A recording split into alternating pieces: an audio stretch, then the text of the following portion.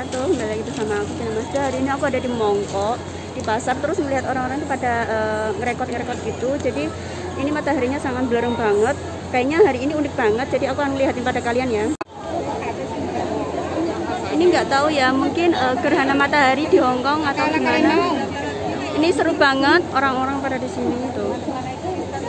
Pada nyoteng-nyoteng Karena mataharinya yang unik hari ini jam berapa ya? Jam 4 ini.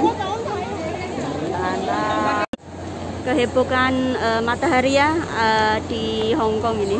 Pada heboh-heboh semuanya. Pada ngerekod-ngerekod ya banyak orang yang ngerekod sebelah sana. Semua pada ngerekod karena matahari yang sangat unik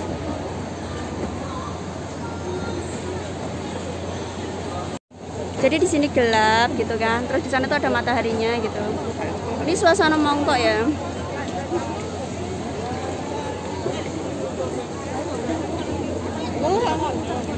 Suasana mongkok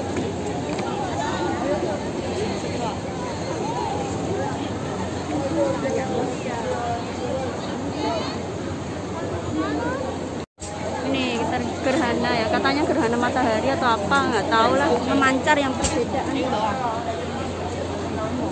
Katanya pancaran mataharinya tuh beda jadi orang-orang pada heboh gitu kan.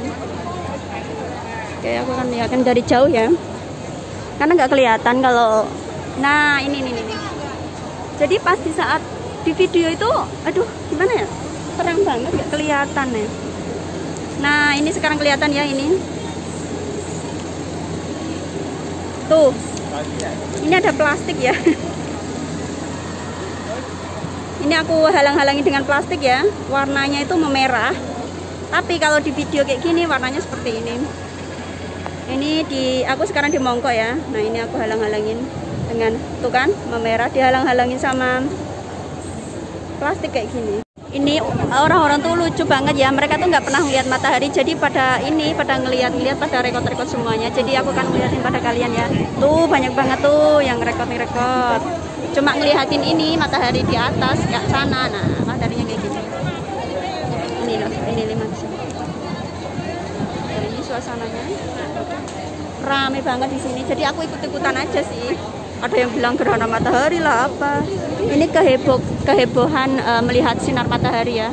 Matahari di Mongkok ini di di Hongkong pada heboh. Tuh tuh semuanya tuh. Tuh tuh tuh